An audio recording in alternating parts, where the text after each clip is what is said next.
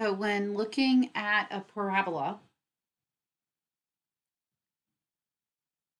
we want to be able to um, determine where the function is negative, and we do that based on intervals of the x-axis. So we can determine where the function is negative and where the function is positive. And when we talk about the function being positive versus negative, we're just talking about the sign of the y values. Whereas when we talk about the function's rate of change increasing versus the function's rate of change decreasing, that's a little different. So here it's just saying what values of x is the function negative. So we're looking for those negative y values.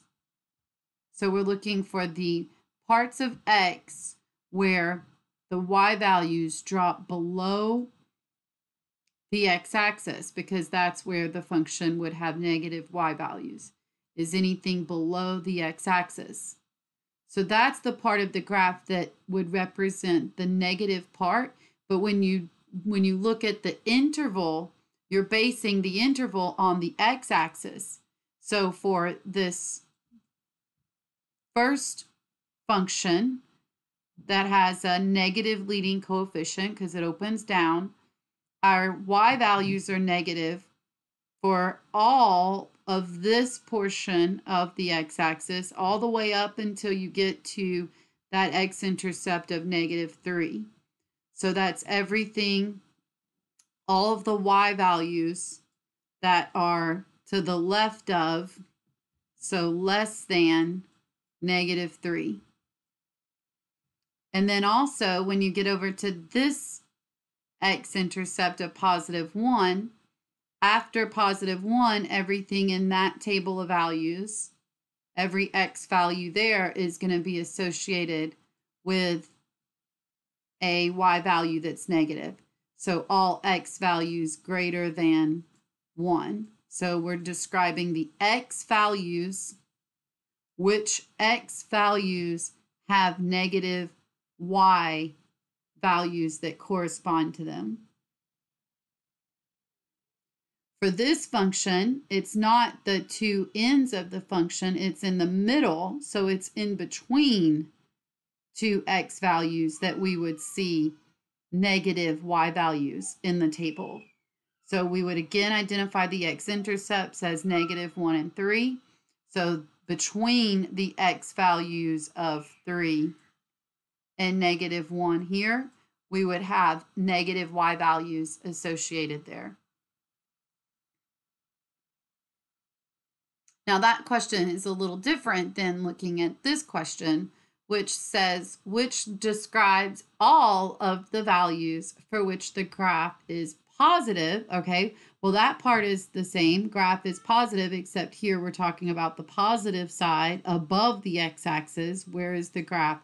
Above the x axis. Okay, that's the positive. Above the x axis there. And on this one, there's the positive above the x axis. So we've highlighted the positive part but here, they're also asking us to identify decreasing. When we use the words increasing and decreasing, we're talking about our rate of change. So that's like our slope. This would be increasing anywhere where as x approaches, as you move from left to right, your y values are increasing. So a positive slope and this would be decreasing a negative slope. So we're looking for the portion of the graph that as you move from left to right, what's happening to the y values here. As we move from left to right here, the y values are going all the way up to the vertex. We move from left here, we go, we are increasing.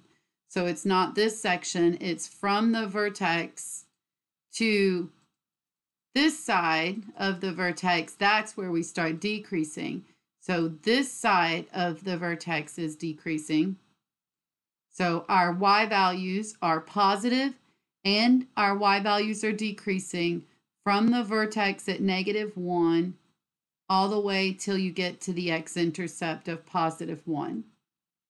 So that would be all of the values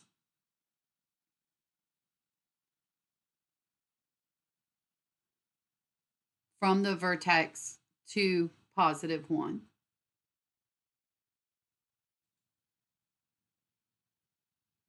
So I could write that as the interval x, which is less than 1, but greater than negative 1.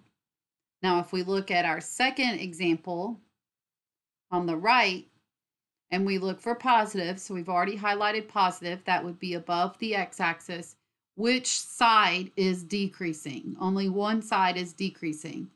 Does the left-hand side or the right-hand side of this parabola represent the decreasing side. Well, since the parabola opens up, the left-hand side is decreasing. If the parabola opened down, the right-hand side would be decreasing. So we know that the left-hand side here, as we move from left to right, is going down.